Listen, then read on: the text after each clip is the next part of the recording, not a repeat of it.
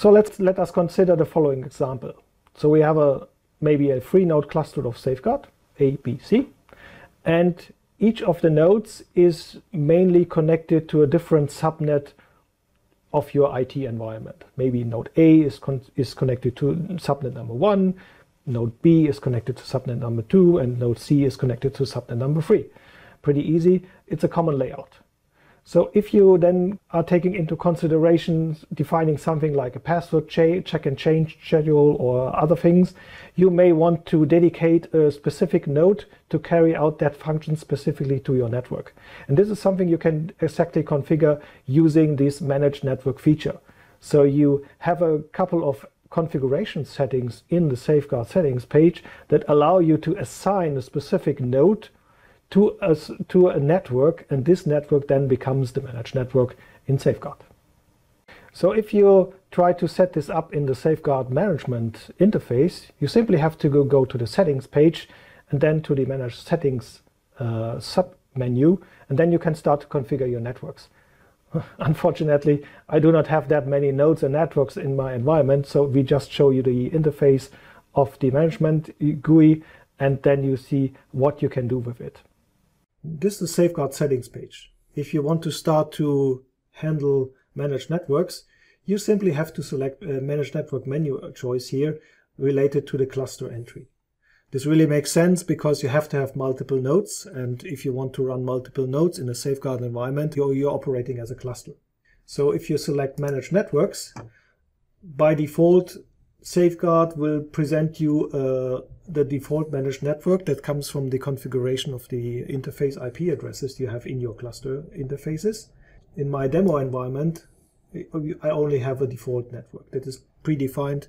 And if you want to create something, just click on plus and fill in the appropriate information in the managed network dialog box. So give it a name, maybe subnet A, whatever description you want to choose and you can select the node that is required to manage that subnet. Remember, you want to have managed networks to do some load sharing or load distribution. So you can designate a node to be responsible for a certain subnet. And of course, you can have multiples of, of subnets related to that, and you can have one, two, four, whatever number of nodes assigned to that network to be responsible for management. In this case, make it very easy for this example. The subnet here I want to enter is with the 24-bit subnet mask and I assign it to my first node.